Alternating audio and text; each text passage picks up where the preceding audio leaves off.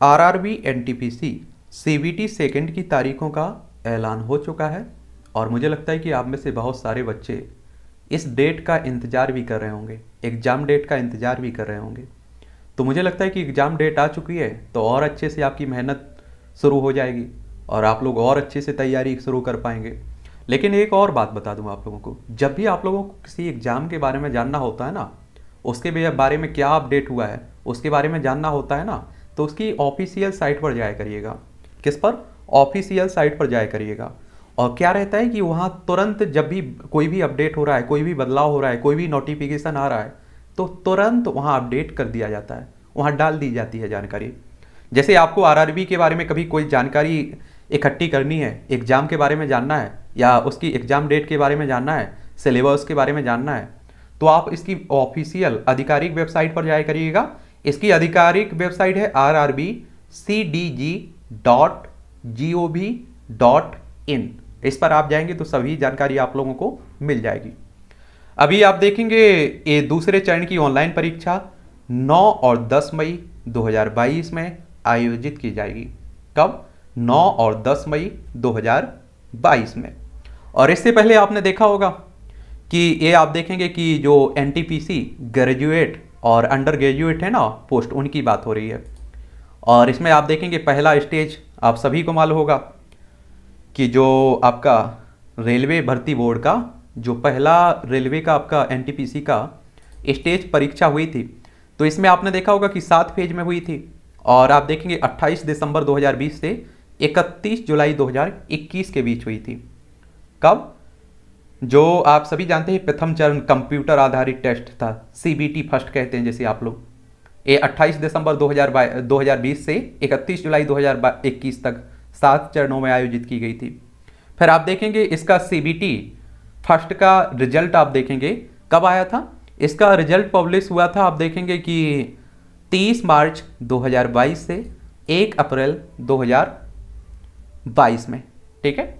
तो ये भी आप लोग याद रखिएगा। और second stage computer based test CBT और इसके बता दूँ कि इसमें आप देखेंगे कि आपका जो लेवल है, क्या है? लेवल। इसमें लेवल चार एंड छः सीबीटी फ़र्स्ट।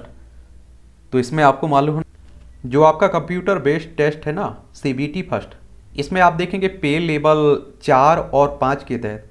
क्वालिफाई हुए उम्मीदवारों के लिए दूसरे चरण की परीक्षा नौ और 10 मई 2000 10 मई 2022 को एक तरह से ये करवाई जाएगी।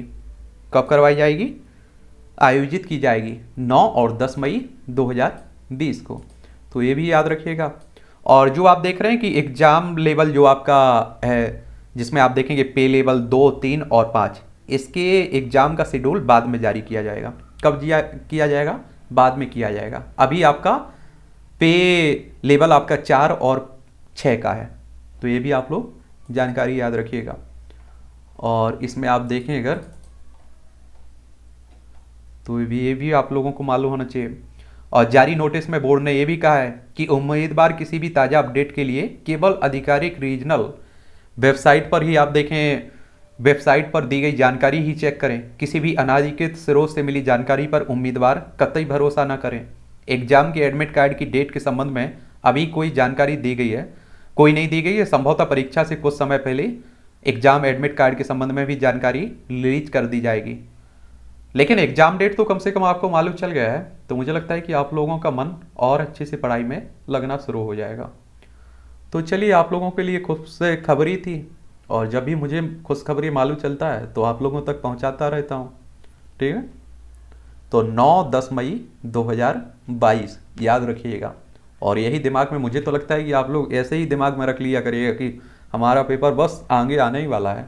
तो मुझे लगता है कि जब हम लोगों को मालूम चलता है कि डेट बढ़ गई एग्ज़ाम की, या डे, बहुत लंबा समय है हमारे पास तो हम लोग एक तरह से आलस भरने लगते हैं।